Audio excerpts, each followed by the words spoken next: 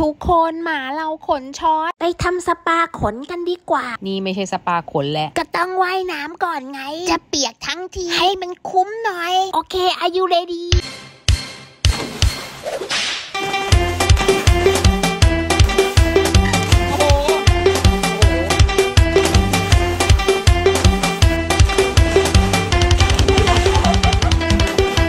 พาทำสปาขนแล้ว เราอะพาเด็กๆไปเที่ยวชะอำมาแล้วสระว่ายน้ำที่บ้านนะเพิ่งใส่คลอรีนแล้วพอเด็กๆลงไปว่ายน้ำเท่านั้นขนแหละช็อตเลย เราก็เลยต้องมาหมักโคลนกันช่างอะบอกว่าน่าจะต้องสักสองรอบถึงจะหาย ระหว่างหมักเนี่ยก็คือต้อง wrap ไว้ด้วยนะเฮียเหมือนแหนมเลยคิวต่อไปจุ๊มเมงพี่เขาบอกว่าต้องขึ้นก่อนจุ๊มเมงอะขี้โวยวายในห้องอาบน้ำเนี่ยต้องมีเจไดไม่ก็ใจดีอยู่ด้วย ไม่งั้นจิ้วเหม่งจะร้องไห้ไม่ใช่พี่เขาบอกว่าโวยวายเลยแหละ ไม่